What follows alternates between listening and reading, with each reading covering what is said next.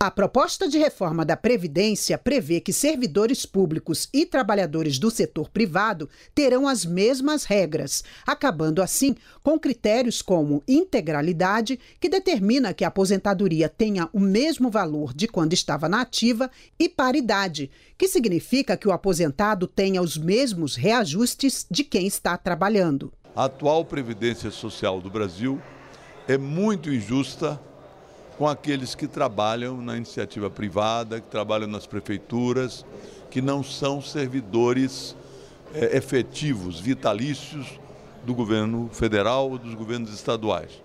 Eu defendo uma previdência igual para todos os brasileiros, uma previdência sustentável e uma previdência que garanta a aposentadoria daqueles que estão aposentados, que estão para se aposentar.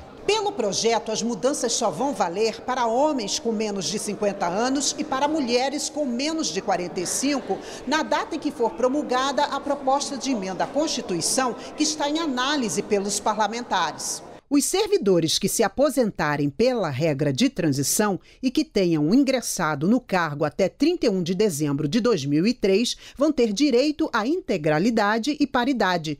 Já para os trabalhadores que ingressarem no serviço público depois da emenda, os benefícios não terão validade. Vai valer para o agricultor, para o operário, para o promotor público, para o auditor fiscal para o senador e para o deputado.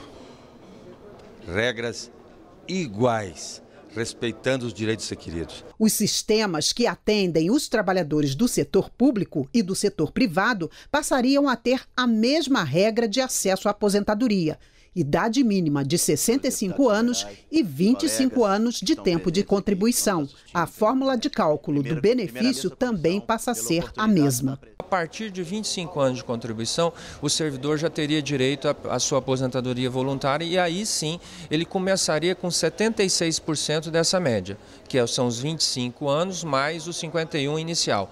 E a partir daí, a cada ano que ele for é, implementando, ele vai acrescendo a chegar até os 100% no limite 100%.